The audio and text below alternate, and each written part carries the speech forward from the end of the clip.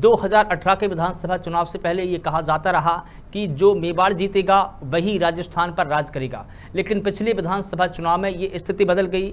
BJP ने मेवाड़ में शानदार जीत तो हासिल की, लेकिन सत्ता पर काबिज नहीं हो पाई। सत्ता पर कांग्रेस पार्टी काबिज हुई। पिछले चुनाव में पूर्वी राजस्थान वह क्षेत्र था जिसने मेवाड़ की जगह ले ली, जहाँ बीजेपी को सिर्फ़ एक सीट पर ही जीत हासिल हो सकी। और यही कारण है कि प्रधानमंत्री नरेंद्र मोदी, अमित शाह, बीजेपी के अध्यक्ष जेपी नड्डा चुनावी साल में नौ बार पूर्वी राजस्थान का दौरा कर चुके हैं।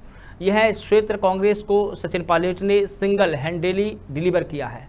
उन्होंने सोशल इंजीनियरिंग के ज़रिए गुणा मीना, गुर्जर, जाट बोर्ड को एक साथ कांग्रेस के पक्ष में ला दिए हैं, जिससे लगभग सारी सीटें कांग्रेस की झोली में आ गई थी।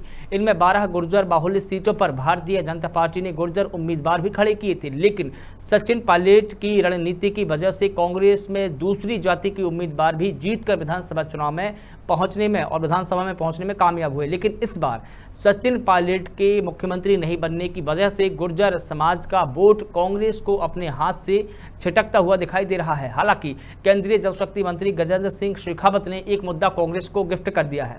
राजस्थान के जलदाय मंत्री महेश जोशी ने गजेंद्र सिंह को प्रधानमंत्री द्वारा दिया गया ईआरसीपी का वादा याद दिलाया, लेकिन शेखावत पीएम मोदी का वादा भूल गए। उन्होंने कहा कि प्रधानमंत्री मोदी ने ऐसा कोई वादा ही नहीं किया है। इसके बाद से ईआरसीपी मामले ने तूल पकड़ लिया। कांग्रेस अब इस मुद्दे पर आक्रामक होकर बीजेपी के खिलाफ में माहौल बना रही है।